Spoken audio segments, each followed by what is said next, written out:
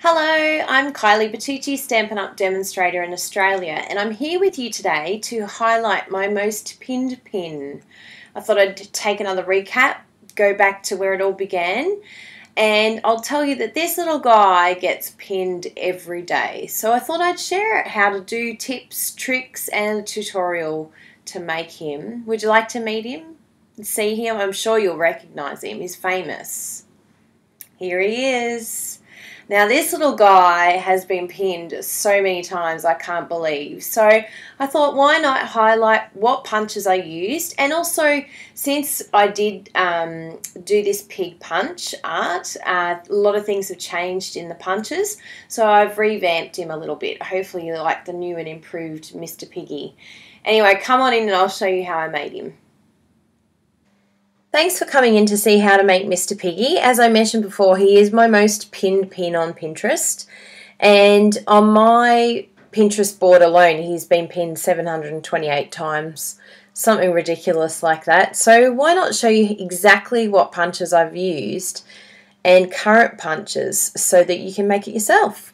It's a great idea for kids' parties and things like that uh, for little bookmarks, and it's something enjoyable that the kids can make that isn't nasty for them, like sweets and lollies.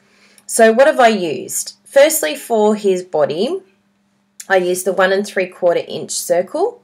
For his head, I used the one and three eight inch circle. Then for his ears, because of what I used previously, it's actually retired now. So I used the Elegant butterfly and just cut off and used the little wing section as you can see. I think it actually looks better. I'd love your opinion, but I think it looks really stick and cute. Now his legs is using the word window and also I've used the star punch just to cut out the uh, little angles on his feet to give him little trotters.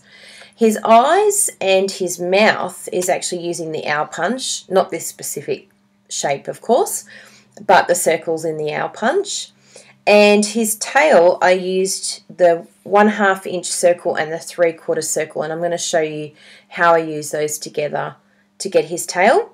And his nose is the half inch circle punch, and that's been sponged in Melon Mambo. So if you wanted to take a screenshot of that, at least then you'll know exactly what you need to make Mr. Piggy. But I'll just show you a couple of little tips that I think will come in handy. Uh, as I mentioned before, I'm using the Elegant Butterfly for his ears, and all I did for that is just come part way down and then just punch from there. And then you don't have to be too particular, but just cut it in half. And then those little sections glue down underneath so you don't see the little cut bits. And what else can I show you? Oh, yes, with the legs, I've used the word window, punched that out. And then with the itty bitty punch pack, there's a star. And all I've done is just lined it up so that it's at the flat section, so it gets rid of that circle section. And then just punched. And you can see there's his little trotter. And same on this side. Just got to try and line it up as close as you can but no stress if it's not perfect. And then all I did to get his little feet was use the basic black marker. Just draw a little line across and then just coloured. So kept it really simple but it's very effective as you can see with his little feet there we go. With his nose, I sponged that in Melon Mambo, as I mentioned, and then just used the basic black marker to do the nose. So there's some little tips. And then also with the, um, I'm thinking of the word, the owl punch, um, what I tend to do is just do a little strip. So you've got your strip of white here whisper white and then I just feed it through and then punch the two that's what I use for my eyes so they come out so there's only a little bit of extra scrap and then the, the mouth you can use this one here. I think they're quite cute. I did use the bigger one, but I think it's cute. And then and then cut it in half. So I'll just quickly show you um, how to compile him with all the shapes now that we've got all those ready. So I use the uh, Tombow glue. I find that that is the most effective. If you're doing it with children, what we've learnt in our experience is that it's good to control the glue as it can get very messy unless they're at an age where you can trust them.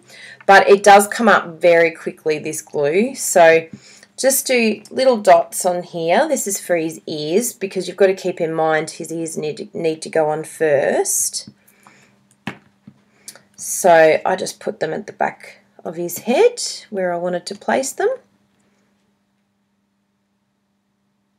And it doesn't take long to dry too, so and so you can move that around until you're at a place where you're happy with his his position of the ears. Then we just do a little bit of glue here for his head. Put that down. And you can place that again where you'd like to, to put it. Now, um, this glue will also dry clear too, so don't stress too badly if you get a little bit of glue. I've just realised I didn't show you the tail. So a little trick with the tail is to punch the smaller one first, which is the half inch punch. So punch that out first. You can use that for the nose, so don't waste it. And then come in with your three quarter inch punch and just punch that out. And then I just cut it in half. And that's his cute little tail. So if we want to glue that one down, I just put a little bit of glue there lift up the back and glue down. And so with the kids, usually what we do is um, I just say to them, what do you think goes next here? And it's like sort of like a little bit of a puzzle for them to put it all together. And just gets them happening. I do like to draw the eyes on uh, at the end once it's glued on, just so that you can get a little bit of an idea of where to place it. I think it's cute to put the little nose over the top too. I didn't do it last time. And I was very upset that I missed that. Then we've got the little mouth. Now, as I said before, I used the bigger one on mine, but I think the little one's cute. And if you wanted to, you could even draw it on. That's another option. And then his little legs, what I do with that is I usually just take a little bit of glue put it on the end and then lift up the whole piggy and put him on top. And then you can position your little legs wherever you want to put it. Oh, his nose has gone a bit haywire. And then just let that dry. Now with the clips, I ordered them online. They're Sovereign 75 millimeter jumbo, and they come in a pack of 25. Now, obviously, I'm talking in Australia that I ordered them online. I'm sorry, I don't know what it is in other countries, but uh, I got them through Scout Office Supplies, if that comes in useful for you.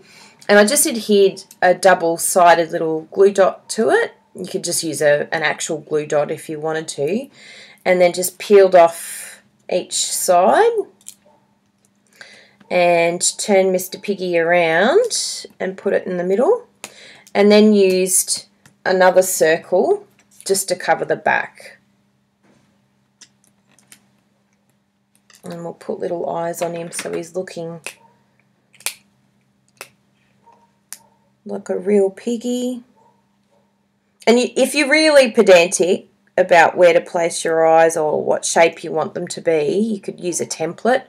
But I think it's really good fun for the kids too because they scribble all over it and it looks pretty unco, but it's really cute to see the kids draw it and they love it. They get really proud of their doing their little punch art animal. Thank you so much for coming and joining me today and watching my tutorial for this gorgeous little Mr. Piggy who I probably should give a name since that he's so famous now. And uh, hopefully you'll come back again soon when I've got another tutorial. Thanks a lot everyone. Bye.